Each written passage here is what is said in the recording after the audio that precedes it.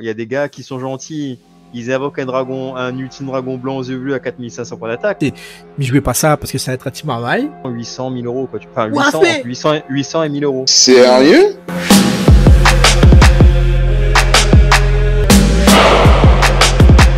Hop là.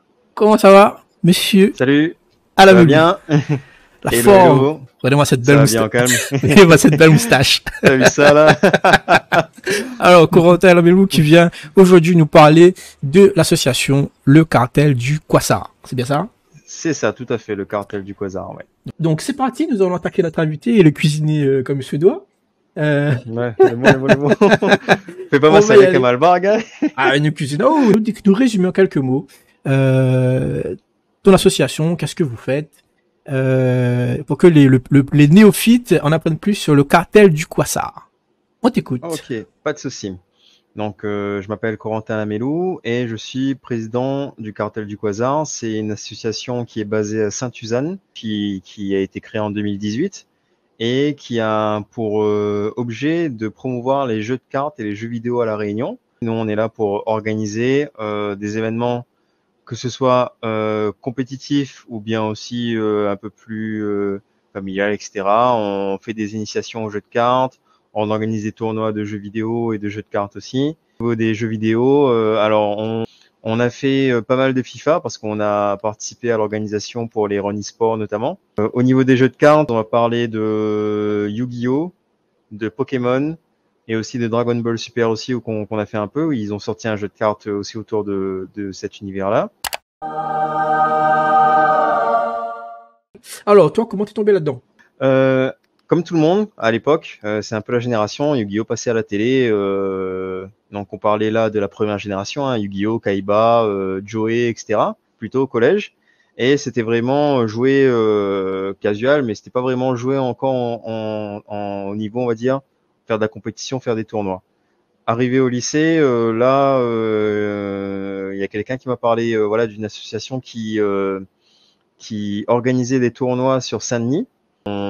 J'ai commencé à rentrer, enfin, je commence à rentrer dedans et voilà, depuis une dizaine d'années environ, je suis dedans depuis, voilà, en continu quoi. C'était quoi le nom de la sauce où t'es rentré dedans? Ça s'appelait Assos Joueur Réunion. Alors, est-ce que c'était Eddie qui gérait ça? Ouais. Eddie Grondin. Ah ouais, ben ouais. En fait, là, euh, je, je, je, je vois, enfin, je vois c'est qui, c'est qui l'association. Ok. Il y a toujours un stéréotype aussi. C'est un stéréotype que Mhm. moi-même j'ai eu euh, quand j'étais plus jeune, parce que la première fois qu'on m'a dit viens jouer à Yu-Gi-Oh, la première phrase de merde que j'ai dit c'est mais je vais pas ça parce que ça va être un team Marvel. Parce que Mhm. et au final, ma tombe dedans et m'a un grand fan du jeu. Rien à Ouais. voir. Donc, c'est quoi, quand c'est appelé stéréotype, c'est quoi la tranche d'âge euh, pour commencer Qui peut venir jouer Euh, Est-ce qu'il y a plus de gars, plus de filles Est-ce qu'il y a plus de vieux, plus de jeunes Est-ce que c'est mélangé? Est-ce que tu peux dire un petit mot là-dessus? Que tu peux commencer à jouer à Yu-Gi-Oh à partir du moment où tu sais lire euh, un minimum. Donc tu vois, tu peux commencer très jeune. Euh, après, je te dis pas que tu vas pouvoir faire de la compétition directement, mais tu vas pouvoir au moins commencer à jouer aux jeux de cartes. Ouais. Donc on, nous, on a déjà fait des initiations avec des 7-8 ans, euh, voilà, euh, qui ont qui ont à peine 10 ans et qui comprenaient très bien le jeu euh, et qui qui savaient faire un duel, etc. Ouais. Le- la tranche d'âge en moyenne, trentaine d'années, on va dire euh, en, en moyenne, c'est comme euh, un peu les échecs, c'est c'est un peu comme voilà ce genre de jeu là où tu peux commencer tôt et tu peux jouer à Yu-Gi-Oh. Moi, je me vois bien jouer à Yu-Gi-Oh encore euh, à 70 ans, tu vois. Bon, on est venu de parler de Yu-Gi-Oh, mais est-ce qu'on peut vulgariser ça pour que les gens comprennent un peu ce que c'est que, que, que le jeu Yu-Gi-Oh Alors, Yu-Gi-Oh, c'est un jeu où en fait tu vas faire un duel, euh, c'est du, c'est un versus, donc c'est du 1 contre 1, mais tu as aussi des formats où tu peux jouer en soit en 2 contre 2 ou euh, en Battle Royale aussi, ça, ça existe aussi, mais c'est moins démocratisé, on va dire. Ouais. Et l'objectif de ce duel-là, c'est que euh, chaque dueliste a un nombre de points de vie défini, euh, défini à l'avance, c'est-à-dire 8000 points de vie en général. Et l'objectif, c'est de faire descendre les points de vie de l'adversaire à zéro. En gros, il y a Ouais. des monstres, des magies, des pièges, et c'est en utilisant cette combinaison-là ben, que vous allez avoir des stratégies, que vous allez pouvoir euh, ben, attaquer l'adversaire et réduire ses points de vie. Soit tu joues Mhm. tranquille contre tes potes, soit tu veux pousser un petit peu, tu fais des tournois au niveau local, Mhm. et tu as aussi des tournois national, international. Donc, est-ce qu'il y a des Mhm. réunionnais qui, qui ont poussé loin dans Yu-Gi-Oh, qui euh, ont, qui ont un Ouais, palmarès euh, alors, déjà, tu l'as expliqué, il y a des, il y a le niveau, on va dire, régional, national, continental et aussi international derrière. Ouais. Et on a des Réunionnais qui sont qui ont fait plusieurs fois les, le championnat de France, le CDF comme on l'appelle dans le dans le jargon.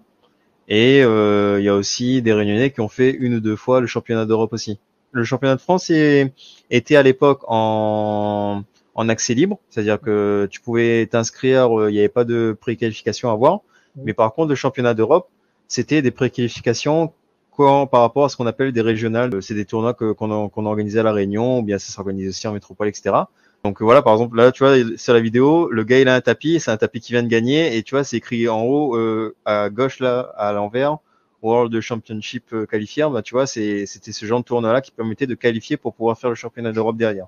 Mais quand tu fais des tournois, on va dire, des petits tournois le samedi, on appelle ça des tournois gratuits et tout, où c'est beaucoup plus bon enfant et où il y a moins de, bah, tu vois, y a, y a, il y a, c'est un, c'est, c'est une compétition, mais les enjeux sont pas les mêmes. Mhm. Où là, tu vois, l'ambiance sera pas pareille du tout. Les gars vont venir regarder, commenter, rigoler, euh, casser les Ouais, etc. ça n'a pas changé aussi. Dans les tournois euh, que tu fait tous les mercredis, euh, samedi, là, une fois, on avait fait un tournoi en double.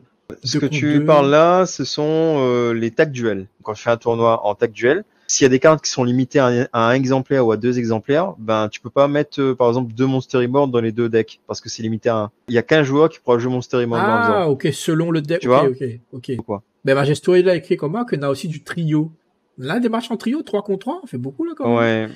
Ouais, Si ouais, vous- ben, c'est un, peu, un comme Pokémon, tu vois. Pokémon, t'avais les, les combats duo, les combats trio, tu vois. Il y a aussi les Battle Royale.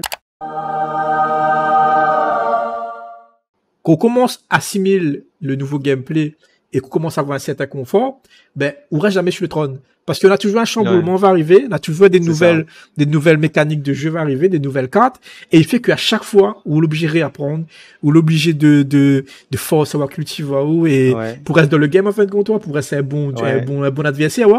On peut tuer un gars par les, par ton bonne carte. On peut tuer un gars par la Ouais. stratégie? On peut tuer un gars par le bluff? On peut tuer un gars en déstabilisant lui. Moi, tu fais ça beaucoup, t'es cassette à la blague et des fois t'es déstabilises tout le monde. Mhm. On a tellement de manières, de chemins, de, de, que on peut C'est- voir. C'est un, un peu comme le poker en fait, tu vois. C'est ça, c'est ça. Justement, comme tu as, tu as cette possibilité de jouer des cartes face cachée. Alors ça c'est pour l'époque, hein, parce que ça a évolué ça aussi. Il y a des cartes maintenant. Tu peux activer leur effet pendant le tour de l'adversaire, mais depuis ta main. C'est-à-dire que même ta main maintenant, les cartes que tu as en main, faut faire attention. L'adversaire doit faire attention à ce que tu as en main. Enfin, tu as une carte piège comme ça. Tu as des monstres surtout, c'est des, on appelle ça du coup des end traps. Tu vois le nom, le nom veut tout dire en, en anglais. C'est, c'est des monstres en fait, mais qui ont des effets que tu peux activer, c'est des effets rapides que tu peux activer euh, pendant n'importe quel tour, mais du coup, c'est-à-dire pendant le tour adversaire aussi, mais depuis ta main. C'est-à-dire que même ta main, bah, le gars, il voit pas, c'est- le gars, à part s'il active un effet euh, qui est précis, il verra pas ce que tu as en main, ben, le gars, il doit faire attention en faisant ses combos et tout. Ben, euh, à l'époque, ben, quand tu posais des cartes face cachée, etc., ben, c'était aussi un moyen de, comme tu dis, de bluffer ou de mettre la pression, ou tu vois, euh, alors que des fois, tu posais juste une carte magie que tu pouvais même pas activer, mais comme c'est face cachée, le gars se dit putain, le gars pose une carte face cachée, peut-être c'est un du miroir ou bien, ou Et bien un c'est magique. ça. Tu vois. une petite anecdote si tu veux pour, pour ça, c'est une carte piège qui s'appelle Réveil du Dragon. En fait, c'est une carte piège. Si la carte est détruite par l'adversaire, euh, tu invoques n'importe quel monstre de l'extra deck, de ton extra deck à toi. Euh, tu vois quand le gars joue ça en face, ben ça te fait, ça a une capacité de pression après où tu où tu hésites à faire beaucoup de trucs derrière. C'est-à-dire en fait là où tu, tu sais que tu es dans un format où il faut détruire les cartes magie piège avant pour faire ta combo après. Là, tu as pu, tu as pété une fois le réveil du dragon. Ben tu hésites après à détruire ces cartes magie piège parce que tu sais pas ce qu'il y a derrière, tu vois. Ouais, c'est ça, les jouer avec coup de mental. Voilà, parce que Réveil du Dragon, il y a des gars qui sont gentils, ils invoquent un dragon, un ultime dragon blanc aux yeux bleus à 4500 points d'attaque, mais c'est juste un gros monstre.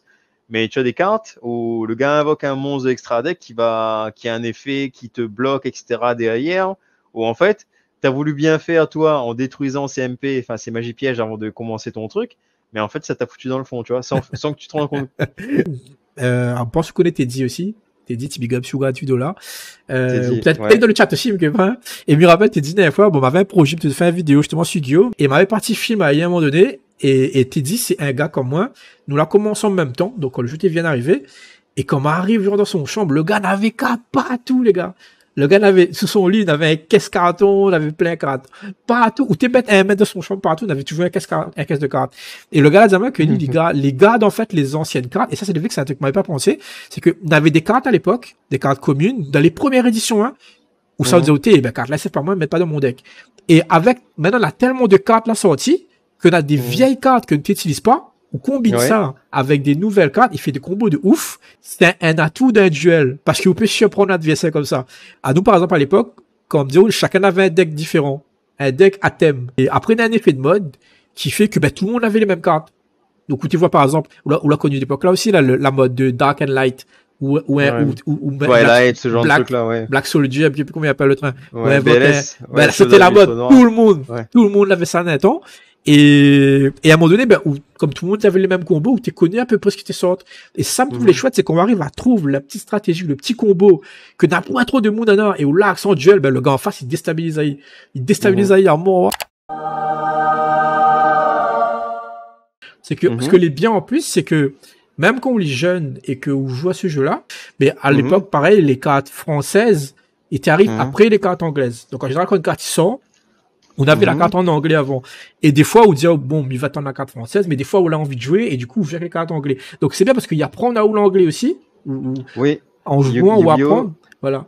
C'est ça, tu, on va dire que Yu-Gi-Oh! est cool parce que, y a le jeu de cartes, mais il y a aussi tous les aspects ludiques qu'il y a, euh, en jouant à ce jeu de cartes. Tu vois, euh, ben, pour faire les le, pour faire le duel, quand il faut compter les points de vie, quand il y a les dégâts, etc., ben, du calcul mental Ouais. tu vois, c'est un, c'est. Ça aussi à l'époque. Tu, tu vois, tu, tu, tu utilises euh, des compétences pour pouvoir faire ça. Faut lire les effets. Faut mettre en place une stratégie. Il y a des, il y a des règles à suivre, tu vois. À nous, t'es prêt papier, mmh. crayon, on mmh. était battu 8000, 8000, on était fait les calculs mentaux à chaque fois. Donc, c'est ça. Euh, Donc, tu faisais, dès que tu, tu perdais 500 points de vie, ça faisait moins 500, moins 600, moins machin. Ouais, ouais, et des fois, de tes fions, c'est-à-dire qu'en plus, ouais. tu vérifié ce que l'adversaire t'a fait. Des fois, là, ben, quand t'es fion, ou t'es tiens, ben, là, 2000, ben, là, t'es fait, t'es, t'es, arrache encore le point là-dessus, hein, ou. Et j'avais aussi un, une remarque à te faire. Tu vois la vidéo que tu as mise de Konami, là? Ouais. Je parlais tout à l'heure de duel qu'on faisait à distance par webcam.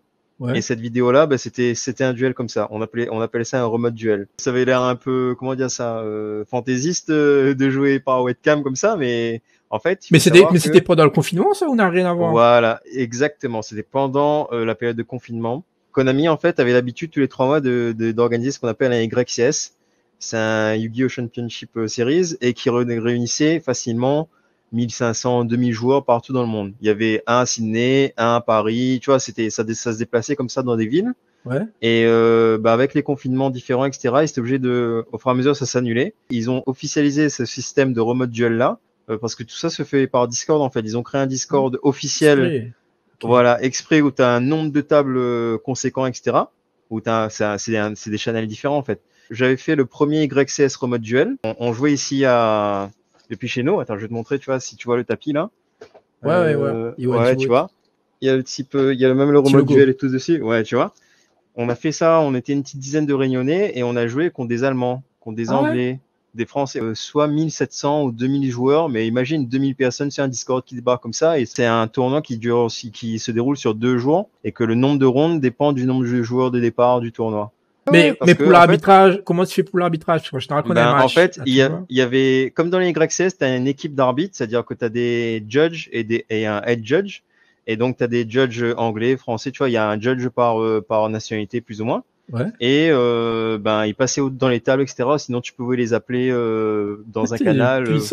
Par exemple, la, mm. la, la, vue webcam est comme ça. Bon, pour les mm. gens qui connaissent super bien et qui sont à fond dans, dans Yu-Gi-Oh, ils connaissent bien mm-hmm. tous les effets, tous les effets de cartes.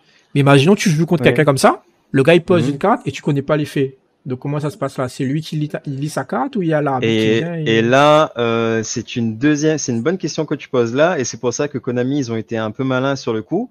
Ils ont créé une application qui s'appelle, euh, je te dis ça parce que j'ai un Ah ouais, c'est sur le téléphone et tu regardes en même temps. Ah les gars sont malins. Les gars sont euh, malins. Ah ouais, ils sont très très malins et ça s'appelle Yu-Gi-Oh Neuron. Et en fait, c'est une base de données. Donc tu demandes au gars c'est quoi le nom de la carte? Et euh, toi, tu vas chercher la, sur, tu tapes la carte euh, sur la, sur la base de données, tu, tu peux lire l'effet, etc. Donc, tu vois, euh, mine de rien, ça te permet aussi de communiquer facilement avec le gars en face et tout. C'est en anglais ou c'est en français l'appli? Ils ont traduit euh, Yu-Gi-Oh! Neuron, c'est en français. Le tournoi, a commencé à la Réunion à 10h et à 22h, on est encore en train, on était encore en train de jouer à Yu-Gi-Oh. On jouait, on a fait 10h, 22h euh, non-stop. Ouais. Mais il n'y a pas de timer, rien. En fait, c'est quand le duel est fini, fini.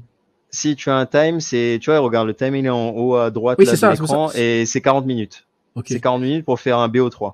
Mais là, si les gars, ils ont envie de pisser ou faire un truc qui se lève, ils barrent, ils reviennent, ils Ben, c'est là en fait où le tournoi a été un peu, a été un peu, c'est la première fois qu'ils faisaient le tournoi comme ça, mais c'était un peu à la rallonge parce qu'il fallait quand même récupérer les, les résultats de toutes les, de tous les matchs, etc., etc. Les premières rondes, euh, li- limite, tu pouvais attendre une temps entre, entre les deux, entre les deux rondes, quoi, tu vois. Ok. Voilà, là, nous voit à l'écran, il y a des cartes brillantes. Alors, dans Mhm. Yu-Gi-Oh! Alors, vous, ça a changé aussi, du coup. Ça me demandait Mhm. des, formes à moi. Euh, tu as, comme tu as dit, tu as plusieurs raretés. Tu as la commune, la rare, la super rare, l'ultra rare et la secrète rare.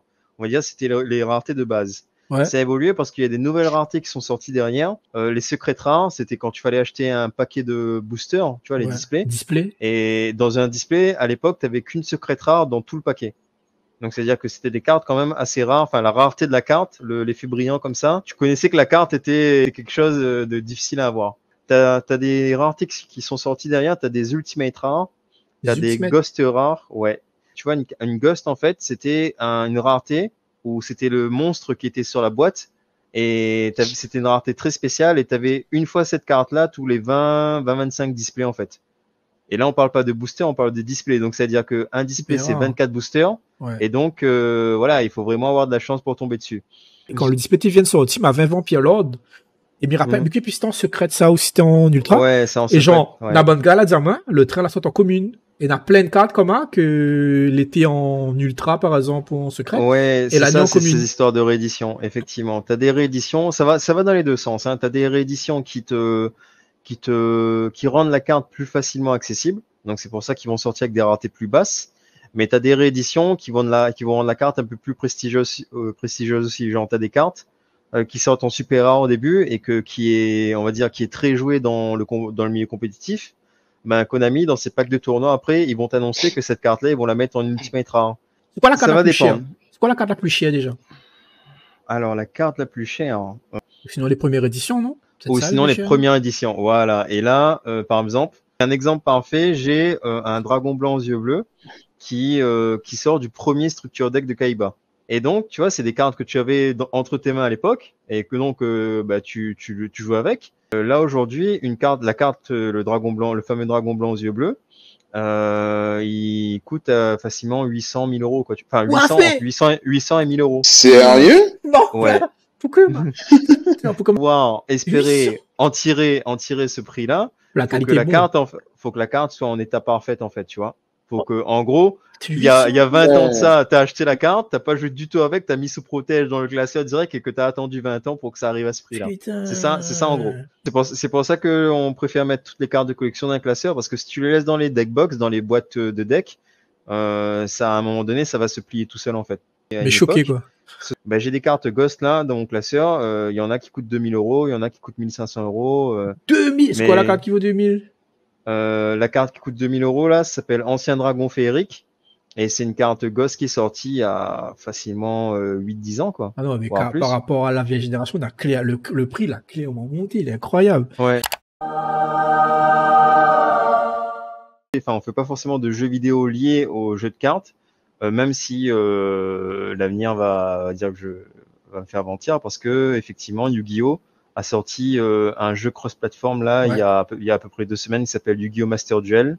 Tout plaît. qui euh, free to play voilà qui qui permet euh, de pouvoir jouer euh, contre n'importe qui euh, dans le monde puisque c'est un seul serveur etc mais il y a beaucoup de monde il y a quasiment je crois que ça a dépassé les 10 millions de téléchargements dans, dans le monde. Et on, on veut s'y intéresser euh, vraiment pour euh, pour pouvoir faire quelque chose de compétitif et quelque chose d'intéressant à la Réunion c'est que tu vois derrière tu pourras faire des tournois avec beaucoup de monde sans forcément avoir besoin d'un local derrière etc Ouais, ouais. et le jeu même est- a été créé pour pouvoir euh, avoir une partie compétition et en plus des ranked, etc. Où, euh, voilà, il y a le monde avant Covid et le monde après Covid.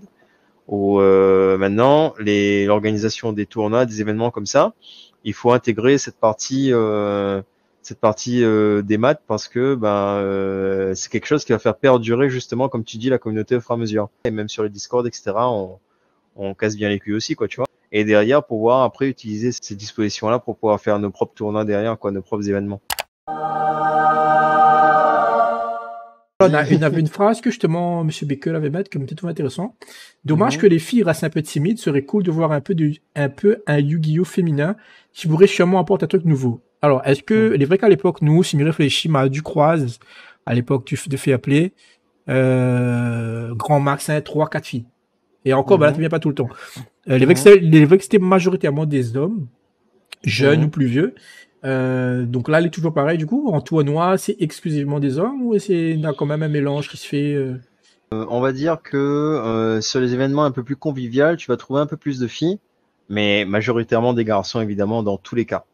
Et les tournois, euh, tu vas trouver, des fois, on a déjà fait des tournois, il y avait une ou deux filles dedans, mais effectivement, tu vois, mine de rien, c'est aussi un, un, un domaine comme les jeux vidéo où tu vas voir de plus en plus de femmes qui vont, qui vont entrer dedans, etc. Euh, parce qu'on connaissait des filles qui jouaient aux cartes, bah, tu vois, dans, le milieu, dans les événements conviviaux, les initiations, etc., tu avais des filles qui venaient jouer et tout.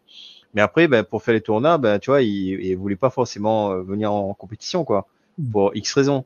Et en train de se dire, bah, putain, pourquoi on ferait pas un tournoi, mais du Féminin. coup, avec que, mais que féminin.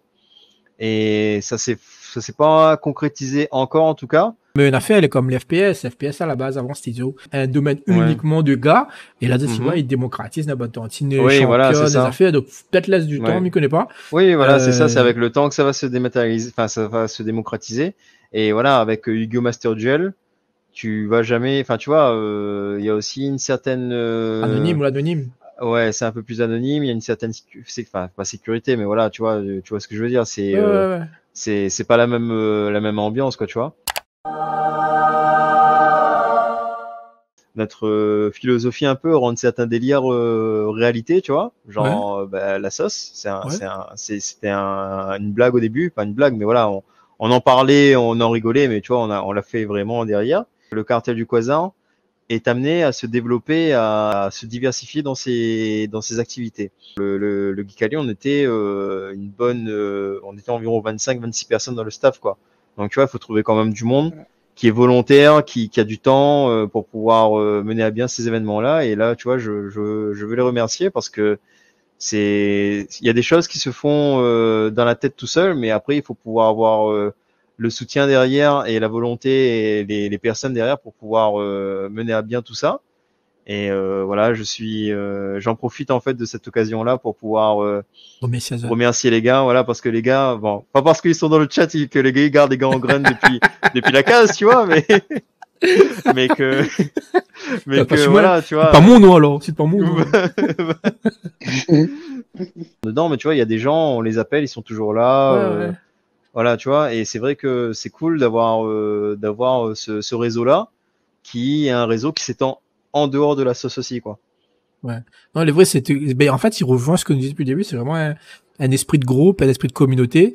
Voilà. Et euh, les, les vrais que, que ce soit le jeu vidéo ou, ou les jeux de cartes, ben voilà, tout seul, on arrive à faire des choses, mais en groupe, voilà, il pousse une affaire encore plus loin. Ouais, ben merci à tout le monde, à tous les acteurs qui qui fait que ben, le trail est toujours maintenu à Réunion, c'est grâce à Zot. Donc on a peut-être des Mhm. petits jeunes de cette, de cette génération-là qui, qui vient peut-être voir Zot, que a entendu parler de Zot, et ben, Zot, il brille comme nous à l'époque, et et Mhm. après, il y a maintenant un petit peu de soleil des autres vies. Moi, en tout cas, franchement, sans, midi passage, genre, parce que c'est le sujet, mais dans mes années d'adolescent, le, la communauté Yu-Gi-Oh! l'a été, mais vraiment des super, mais très bons souvenirs, quoi. Franchement, on m'y enlève ça de mon vif et un petit vide quand même, hein, parce que là, il m'a eu, m'a eu quand même, m'a connu beaucoup de monde là-dedans, et il a eu beaucoup de soirées, beaucoup d'événements, et Mhm. ouais, gros big up à tout le monde. Euh, alors, si tu as des petits mots, euh, monsieur Corentin, euh, je te laisse le dernier mot, après on va changer de sujet. Euh, on est présent euh, sur euh, Facebook surtout, c'est le média principal qu'on utilise, les réseaux sociaux, le réseau social le plus le plus important. Après, on va on va euh, démocratiser euh, au fur et à mesure, il n'y a pas de souci. Et ouais, gros big up à tout le monde. Donc, si vous voulez envie de revenir en tant que chroniqueur pour parler à nous du sujet Yu-Gi-Oh! par exemple, tu as un point précis, bah, au penny. Enfin, me dit Yu-Gi-Oh! peut être Pokémon, peut être DBZ, peut être autre chose, hein. Ouais, pourquoi Euh, pas, donc, pourquoi euh, pas, si ouais. vous voulez, revenez pas de soucis.